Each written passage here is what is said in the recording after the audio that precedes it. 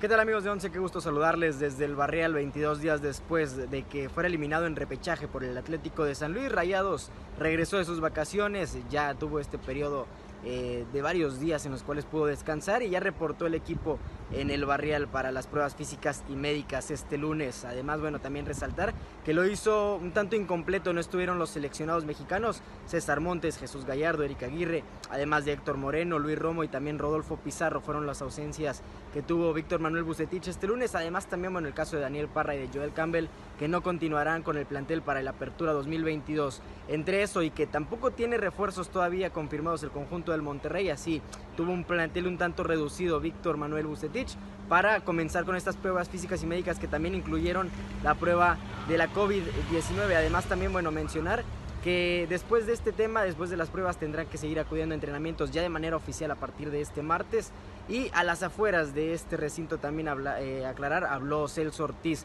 una declaración un tanto fuerte en la que mencionó que no están en deuda, no se sienten en deuda con la afición, pese a que no consiguieron eh, títulos en este torneo México C22, que no consiguió el campeonato, que ni siquiera avanzaron a la liguilla de manera directa. Aún así siente que no está en deuda el equipo con la afición del Monterrey, pero eso sí, mencionó que están en su derecho de exigir, en su derecho de exigir refuerzos también y contrataciones, pero eso le compete a la directiva albiazul, ellos solamente son empleados, los jugadores solamente son empleados y esto de, de los refuerzos le compete a la directiva del Monterrey, además también afirmó